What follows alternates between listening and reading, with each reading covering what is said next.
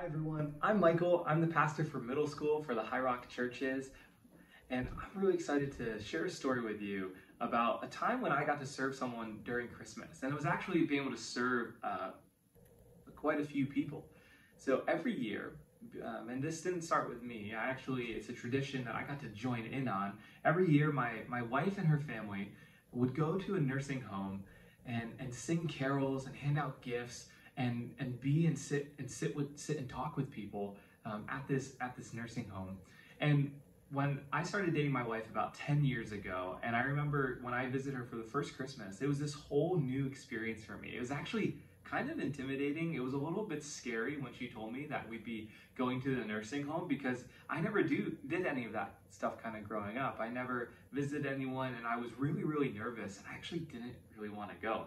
I wonder if you've ever felt that way about when you've had the opportunity to serve someone else or to try something new. Maybe it could be a little bit scary.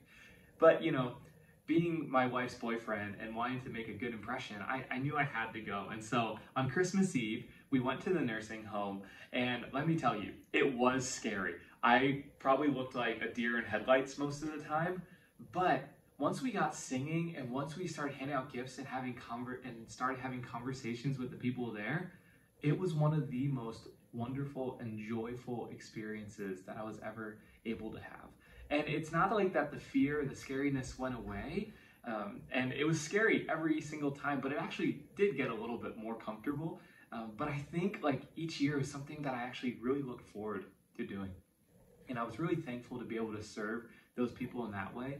And what I found was that it actually brought a lot of joy to me too and and I hope that I was able to bring joy to them. I can tell you we're not the best choir ensemble. Um, some of us can sing really well, but you know, we we did our best and we sang our carols, and I and I think it was a, a gift to them.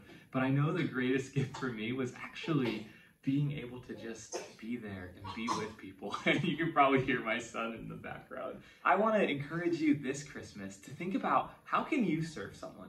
Even if it's scary or a little bit nerve-wracking, I promise you that when you do it, it's going to give you life and give that other person life as well.